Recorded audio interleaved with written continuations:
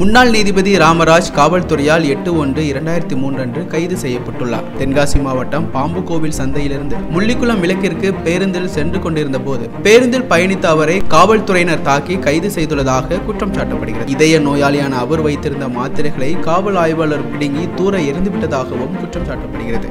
இரண்டு நாட்களாக உணவு அருந்தாமல் மருத்துவமனையில் அனுமதிக்கப்பட்ட நிலையில் போதிய சிகிச்சை எதுவும் அளிக்காமல் சிகிச்சை அளித்தது போல ஆவணங்கள் தயார் செய்யப்பட்டதாகவும் தென்காசி மாவட்ட ஆட்சியரின் துணையோடு இந்த கைது சம்பவம் அரங்கேறுவதாக முன்னாள் நீதிபதி குற்றம் சாட்டுகிறார் ராம்குமார் வழக்கில் உண்மைத்தன்மையை கொண்டு வருவதற்கு அயராது பாடுபட்ட நிலையில் இந்த வழக்கை சார்ந்த பல முக்கிய புள்ளிகள் தண்டனை பெற இருக்கின்றன இந்த நிலையில் முன்னாள் நீதிபதி ராமராஜ் அவர்களை அச்சுறுத்த பொய் வழக்கு போன்ற கொடுமையான முறைகளை அதிகார பலத்தோடு சிலர் அரங்கேற்றி வருவதன் பின்னணியில்தான் கைது செய்யப்பட்டிருப்பதாக கூறப்படுகிறது தமிழகத்தை பறிக்காதே தமிழகத்தை பறிக்காதே போடாதே போடாதே போடாதே போடாதே போடாதே போடாதே போடாதே. பொய் வழக்கு போடாதே. பொய் வழக்கு போடாதே. நில உரிமைக்கு போராடோ நில உரிமைக்கு போராடோ நில உரிமைக்கு போராடோ நில உரிமைக்கு போராடோ போராளிகள் மீது. போராளிகள் மீது. பொய் வழக்கு போடாதே. பொய் வழக்கு போடாதே. கைது செய்யாதே கைது செய்யாதே.